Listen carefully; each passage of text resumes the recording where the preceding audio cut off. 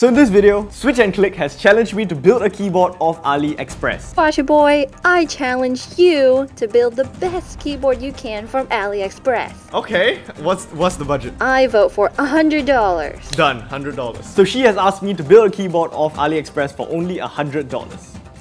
But I'm gonna one-up her. Now look, AliExpress is a place where you go to buy cheap stuff. So I'm going to be building the cheapest keyboard I can off AliExpress. Alright, so let's go get the parts. So I found all the parts on AliExpress. Now I know I could get a really cheap keyboard kit for 30 bucks and it comes with everything, but I wouldn't really call that a custom keyboard because that's more of just a kit. So I'm going to buy all the parts individually. First off, we have OEM stabilizers, which are PCB mounted for only $5. That's like price of a Big Mac, that's pretty cheap. Normal Durock stabilizers are around 30 bucks, so this is pretty cheap. I also found their cheapest PCB, hot swappable and only $31.52. Now it does say hot swappable here, but later on we're gonna find out that it really isn't and Naive Squashy got scammed. But hey, it's still the cheapest PCB, so... We have a $9 plate, a $4.92 case. Now you see, I could get the case in black or white, but both the color variants are 6 cents more, so we can't actually get the colors and we have to go for the cheapest one. So transparent it is. Next up for the switches, same as the case, we could have gotten OEM red switches, which are only $1.56 per pack, but the OEM blue switches are a whole 5 cents cheaper, so we'll have to get them instead, because we are going for the cheapest keyboard. And as for the keycaps, I could get the cheapest keycaps at only $4.35, but if I want the slightest chance of winning Switch and Click,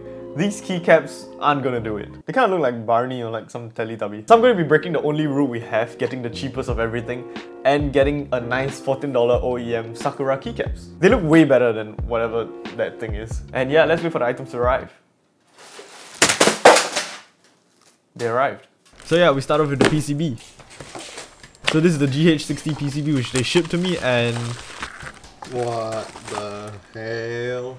Bro, this is not even hot swap. This is just not hot swap, bro. I freaking got scammed. Next we have the stabilizers. Now before the video I actually Holee modded the stabilizers, but I'll be lubing the stabilizers in video. So I'm actually using the lubing kit I got from Amazon from the previous video. I mean it's pretty nice. And since these are snap-in stabilizers, I didn't need to screw them in. And with the stabilizers in, we move on to the switches. So these are the OEM switches that we bought. Hmm, look at them clicks. And all these switches are gonna go onto the aluminium plate that we bought. Although... They didn't send the aluminium plate? They didn't send the plate! They didn't send the bloody plate! It's not here! It says it's delivered, but it's not here! I got scammed again! Shit! So without the plate, I couldn't just solder 5 switches onto the plate and hold the rest in place. And that means I need to find a way to flip it over without all the switches falling off. I first tried tape and it didn't work. But then I came up with this idea where I used the cardboard that I got the case in and flip it over. Which came to a really good success. Bro, let's go! Freaking genius man. Until it didn't. Oh no! Oh my god, no! No! Oh my god! And so I tried it again. Okay, let's go. Ah, yes! Oh, please wait! Oh. Good enough, good enough, that works. Okay, I'm gonna get the soldering iron. And so I quickly soldered everything to place and... Yes! I did it! They're on! They're stuck! But since I didn't have a plate, all the switches are misaligned because they were not 5-pin switches and there was nothing to align them. Here's that $5 case we bought. Looks pretty... $5. We slap that bad boy in. And here are those Sakura keycaps we bought.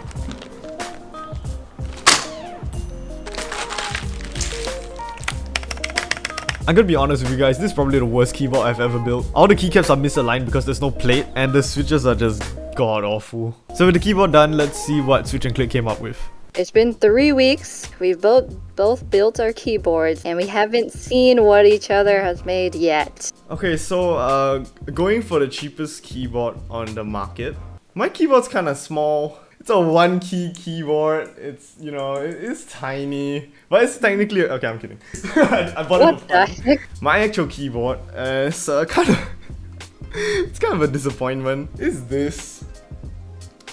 This is a very ordinary keyboard actually, it's just a GH60. The case is $4 and 92 cents. I didn't cheap out on the keycaps actually because I didn't want Barney looking keycaps. For $1.56, I could have gotten red OEM switches. But that wasn't the cheapest on AliExpress because the cheapest, 5 cents cheaper at a dollar and 51 cents. So I had to get the blues. It's loud. It's really loud. I'm gonna play it in three, two, one, click.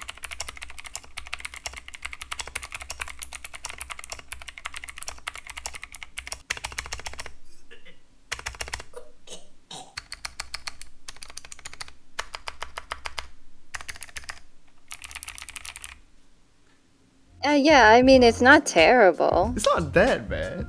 I imagined worse. So without spoiling Switch and Click's video which should be coming out in the near future, here's a short preview of what her keyboard looks like. Are you ready to see it? Sure. Oh, boom. Ew. That's nice! Here we go in three, two, one, go. Well, I lost. we don't even need a voting. We are straight up lost. I, I lost the moment I chose blue switches. So yeah, that's pretty much it for this keyboard. It's crap. Thank you so much for watching this video. Smash this video if you liked it. Like this video if you smashed it. And uh, if you stayed to the very end, comment down below good